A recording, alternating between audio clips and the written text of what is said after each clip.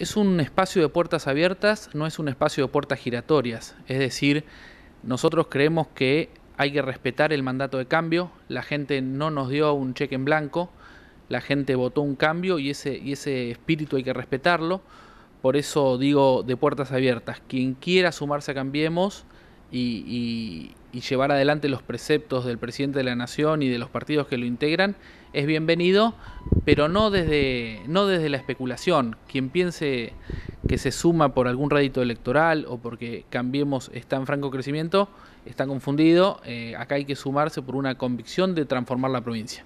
La provincia del Chubut estuvo mucho mejor de lo que está ahora hemos tenido buenos gobiernos, hemos tenido mejor calidad de vida y Cambiemos aspira a volver a reconstruir ese Chubut. ¿Cuáles son los desafíos a corto plazo, mediano plazo para la provincia?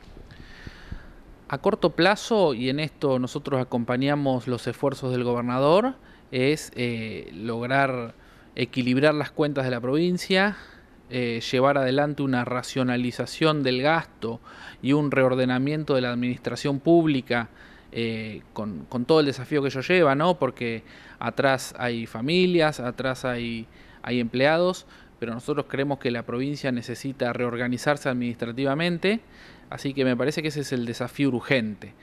Y el desafío en el mediano plazo es lograr cambiar la matriz productiva de, nuestra provincia.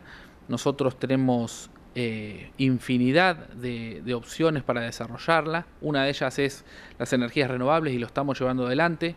El programa Renovar 1 y Renovar 2 para energías alternativas fue muy eficiente en el país y también en nuestra provincia. Ahí tenemos una beta.